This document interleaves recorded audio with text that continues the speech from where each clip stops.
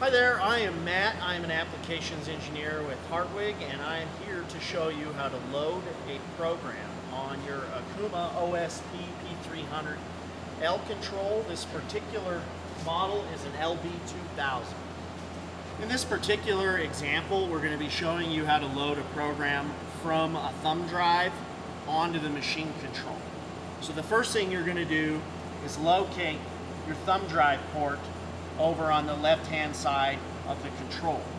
There's two ports and you can read below the port this the upper port says US 0 and the lower port says US 1.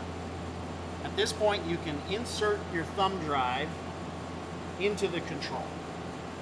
First thing we're going to do is go into our edit mode over here and that's going to bring up our directories. The main machine directory is MD1. We want to go and find our US 0 directory. To do that, you press F1 and go into directory display and you'll select US 0. Once you are in your US 0 directory, you'll see your program and you can highlight it.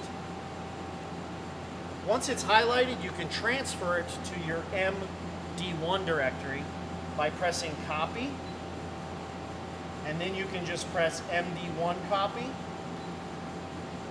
And now if we go back into our directory display and transfer back to our MD1 directory, you'll see that our new program is now on the machine. One last thing I'd like to cover. I know you can just yank the USB out of the drive, but I think it's good habit to always um, remove hardware.